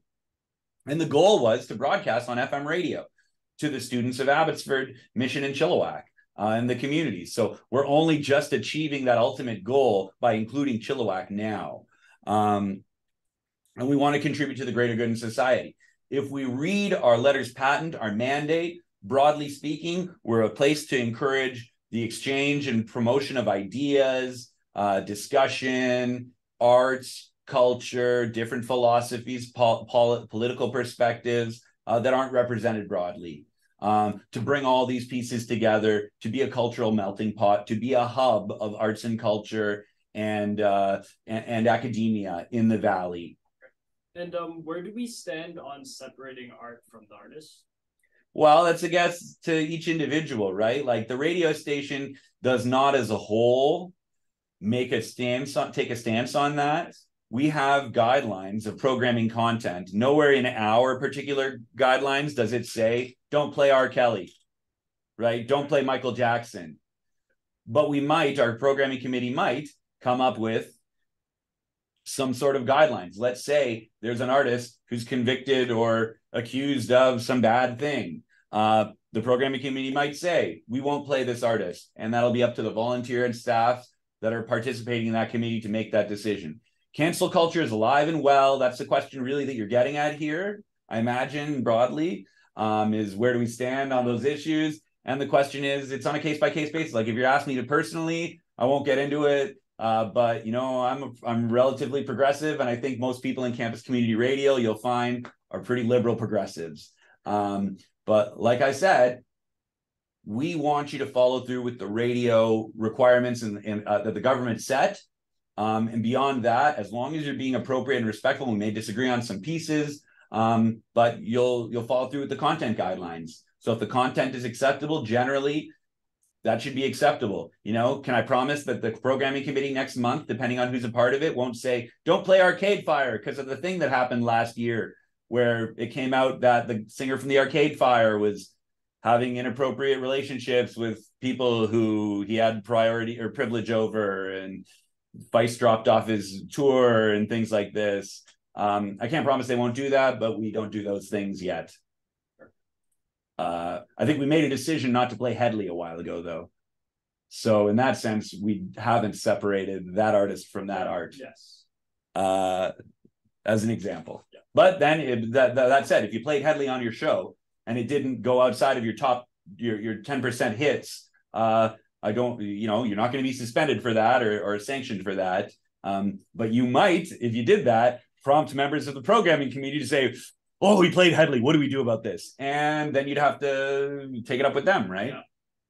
As a group. So it's a collective, it's a collective process. Right. Uh, history of CIVL radio. So I mentioned the Societies Act in 2005 was established.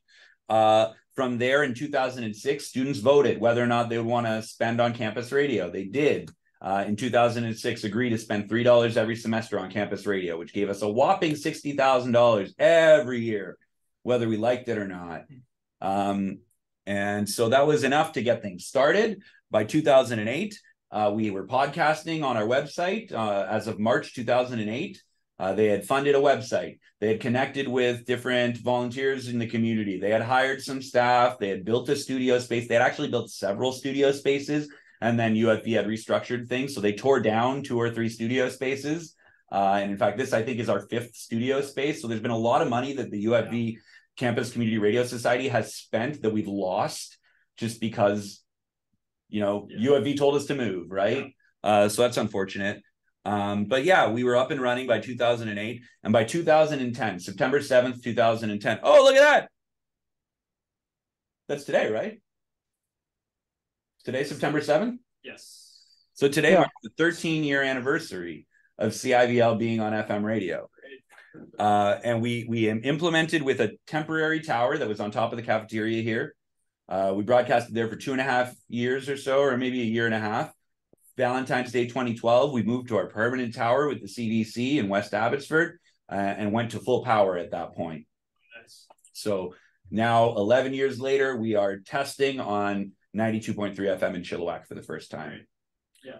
So does this mean that all community radios are crowdfunded with a little bit of help from the government through operating funding? You can call it crowdfunding. Mm, I wouldn't say primarily. It's a hybrid model. And it's to every community radio station. Like it is a struggle. You're struggling to figure out where they get their money yeah. because it's a struggle to yeah. figure out where we're going to get yeah. our money. How are we going to advertise enough? How are we going to get enough grant funding? How are we going to get enough sponsorship? So yeah, it's a grind. It's a, yeah. campus radio stations are incredibly privileged compared to the community stations yes. in terms of what their funding looks like. Oh yes, very much so.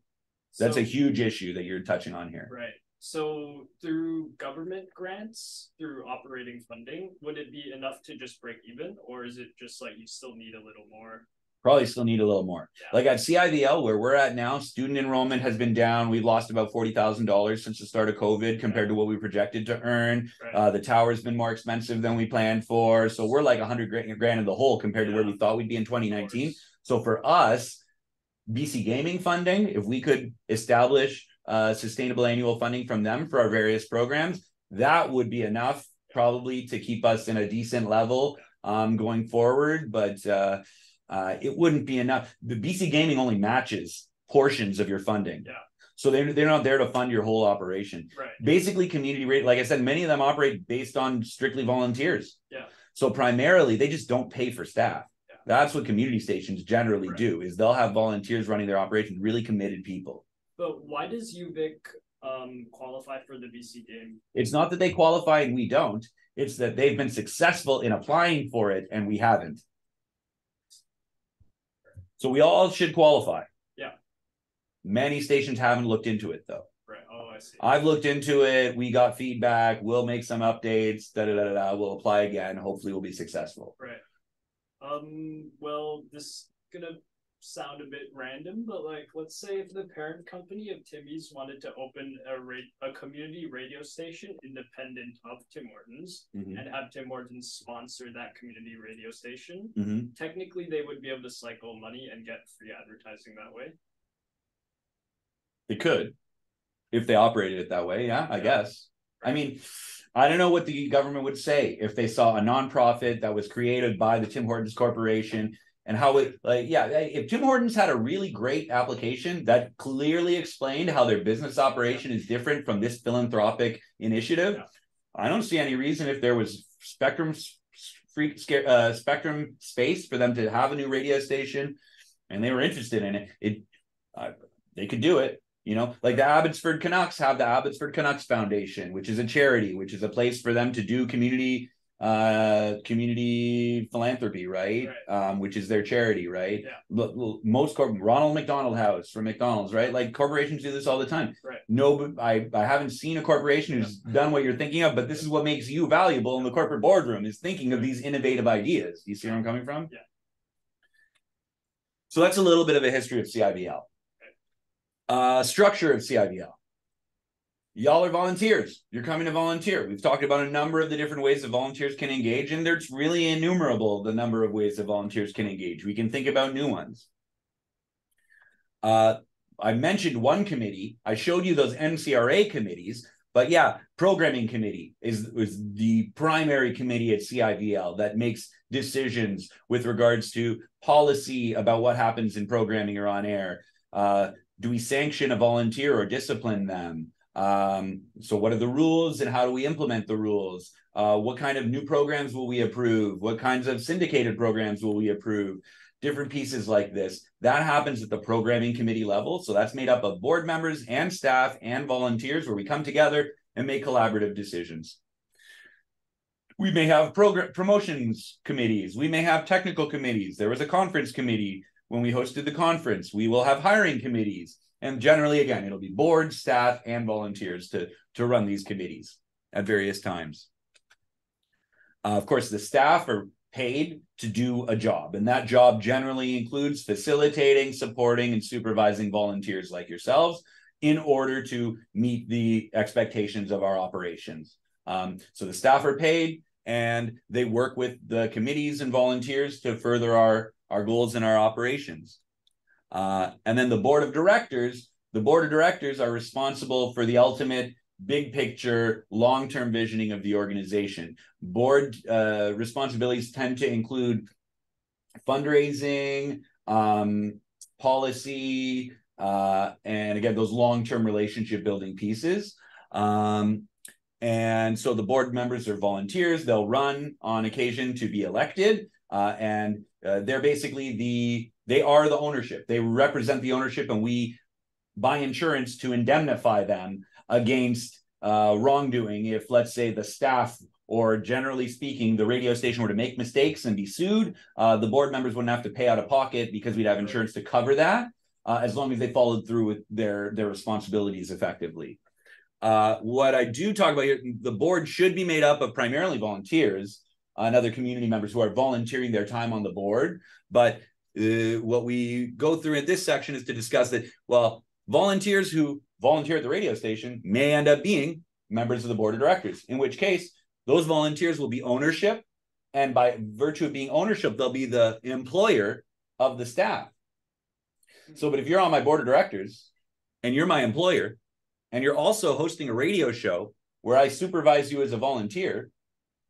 That's a weird little Venn diagram of a snake eating its tail, right? So we need to be careful. Both the staff and the volunteer board members themselves have to be careful to you wear different hats in different scenarios. Yeah. Uh, if you're on Zoom, you didn't see me take off my hat and and show my bald head, so you're lucky. Um, but uh, uh, so we want volunteer. What we want to avoid is a volunteer, let's say, gets disciplined by a staff member for something they did in their volunteer role. Let's say they decided never to play Canadian music on their show, and the staff member says, "Look, you have to play Canadian music. Those are the rules." And the volunteer says, "You know, up yours. I'm not going to be doing it." And in fact, I'm going to go to the board and I'm going to take that out on you as a staff member at the board where I have authority on you. At the same time, if the board says, staff, your reports, they need to be clearer now. We need different reporting from you. And the staff is upset about this and they say, up yours.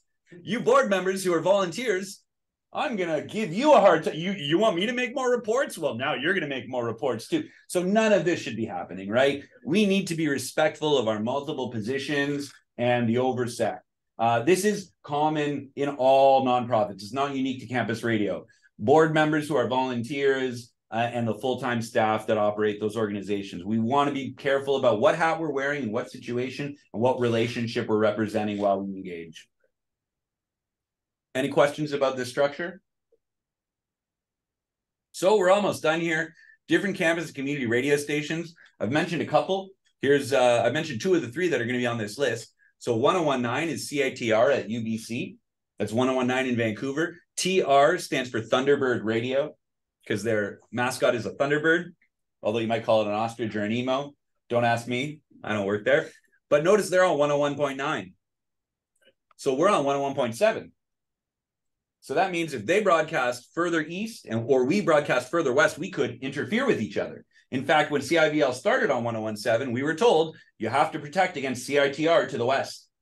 And further, in fact, a couple about a year or two ago, CITR came to me. They said, Aaron, we're looking at uh, expanding eastbound. We're going to need your sign off for that. And I said, whoa, whoa, whoa, whoa, whoa. I'd like to expand westbound eventually. So how's this going to work? Let's talk about this. And I asked for more details. I didn't hear more details. I don't know where that's gone on their end. Maybe they're not doing it anymore. Hopefully not.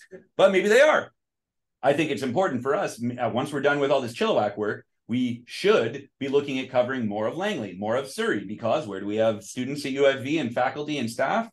In Surrey and Langley. So I think we should be expanding west eventually. Yeah. In that case, we'll need CITR to say, oh, yeah, they're going to expand westbound and we'll ha- and we're okay with that. So it works two ways, right? Yeah. That's a little bit about UBC. They're about 100 years old now. It's been a 100 year old radio station there. Right. Uh, and you said that there was only like one station in the Yukon, right? And then would we be Well, I'm familiar with one. There's at least one, is what I'll say. yes? And well, let's say it's not the competition is not as stiff as in the lower mainland. So if we were to just open a station there, would we be able to do so? Who's we? Um, I guess CIVL radio. What would UFV Campus Community Radio Society's interest be in opening a radio station in the Yukon? Maybe to try and pull in more students where the competition's less stiff, you can take up more land. Interesting. Yes. You're saying just like we expanded to Chilliwack, why don't we expand to Whitehorse? Yes. I mean, I imagine the government would have some questions about this, but if you had good answers, I mean, I, I don't see why not necessarily. Uh, yeah, like this, again, this is what makes you valuable in the corporate boardroom is these innovative ideas uh, that kind of go a little bit against the grain. But presumably, there would be groups in in the Yukon who would be interested in putting together their own uh, campus community radio station Right. there or their own community radio station there. You'll have to show when you apply for a frequency that you have community support. So, I mean, if the people in the Yukon or in Whitehorse, if there are organizations and groups there that are like, you know what, we do want, we want to send our students to UFV. Yeah. Sure, you should promote here. maybe that would be okay. Right. Uh, but you would have to sh- demonstrate the case that this makes sense. Right. It more makes more sense that you would create a Yukon Community Radio Society, Yeah. and that that society would uh, would would uh, open a new radio station, and maybe from there you would partner with UFV for a variety of reasons, and want to get advertising dollars from UFV to help you operate, maybe because they're going to draw your students. right. Mm, yeah, interesting, interesting thoughts. Yep. Interesting thoughts. Okay. So that's 1019 CITR UBC. SFU, I mentioned that earlier with Earshot because of Magnus from SFU who runs Earshot. Notice it's CJSF for SFU. 90.1 FM. They uh, just celebrated 20 years on FM.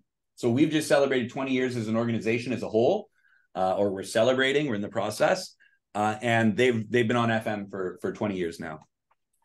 Um, and so they were the youngest station before us in campus radio in Canada. And then there's, I've mentioned this a couple times, CFRO, Vancouver Co-op Radio. So they are a community station based on in the downtown east side, like Main and Hastings is literally where their their their station is. And their work primarily or to a large degree focuses on uh underhoused populations, addictions, indigenous communities, uh, intersectionalities there, providing services for the high, at high risk um, in the Vancouver area and around. Uh, so that is one primary focus of this community radio station, and a lot of their funding focuses on providing those services. Uh, they used to be on 102.7 FM, which uh, recently was the peak, uh, but uh, Pattison, who owns the peak or owned the peak, bought basically. They engaged in a frequency swap with CFRO because CFRO is a community radio station, not too much money. The frequency 1027 has lots of space around it where you can go far and not to run into other radio stations. So Pattison was able to finance to fund the broadcast uh, across that wide range, whereas CFRO couldn't. So they traded frequencies, they swapped frequencies. And uh, I think it was like a million dollars, over a million dollars that CFRO got from Pattison, including the in-kind value to create the the promotional material that promoted the new logo and whatnot of 100.5. They also got uh, uh, on the Pattison billboards, like at at uh, at uh, bus stops and whatnot. They also got placements there as part of the deal. Um, and I understand it was a very difficult decision for their board of directors in terms of what do we do with this money? How do we invest it properly? And they wanted to do it ethically.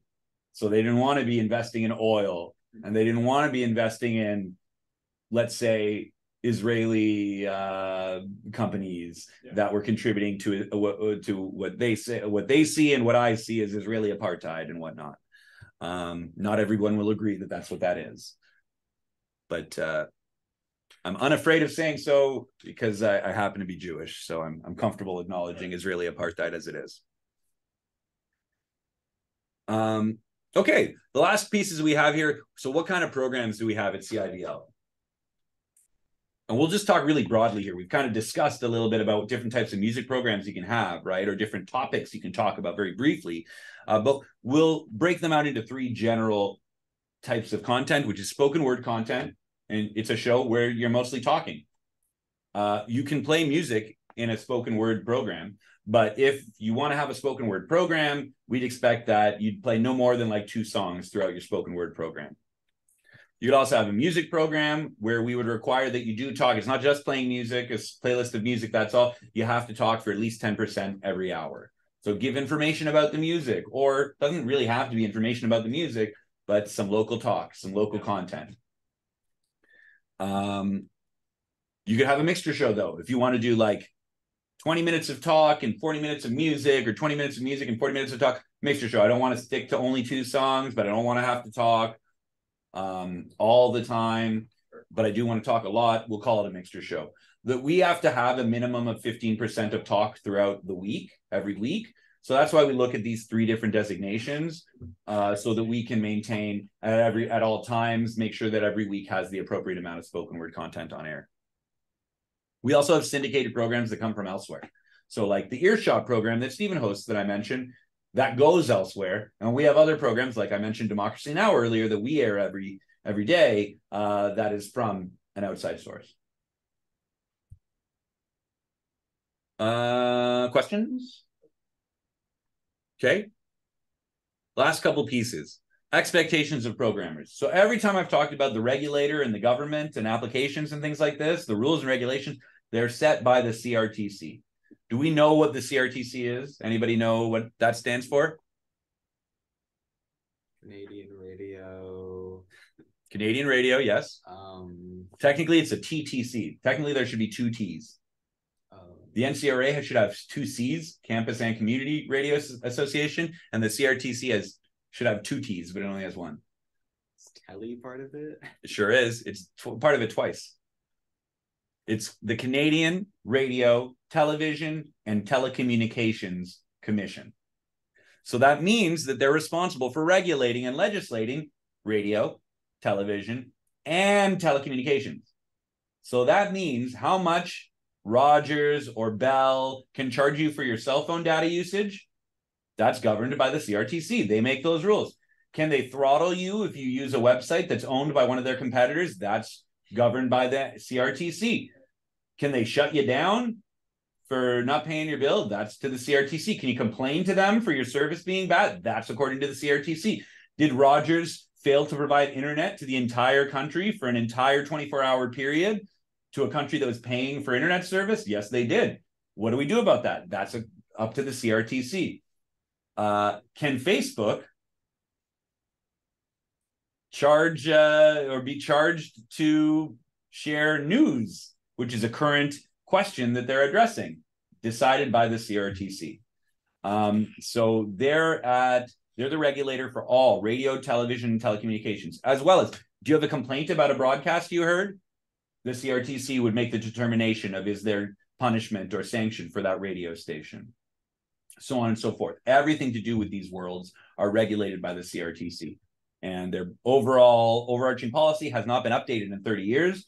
So the CRTC last month, actually, as of now, it's September 2023, the CRTC just told us that they're going to spend so much time renewing their policies that they're actually not going to consider any technical amendments or updates for the next two years. If you want to expand your radio station, not till 2025. We've got other stuff to deal with, they're saying. Uh, so that's where they're at. And that's a little bit about them we usually will have CRTC commissioners at the conference every year talking to us and taking questions. Uh, so it's a good opportunity to get engaged with that. Our broadcast license itself is issued by the Innovation, Science, and Economic Development Department of Canada. So although the CRTC comes up with the legislation, the regulations, we have to get ISED's approval to finally officially broadcast. So you apply to the CRTC with the parameters you're looking for, and they say, okay, you're approved pending ISED sanction.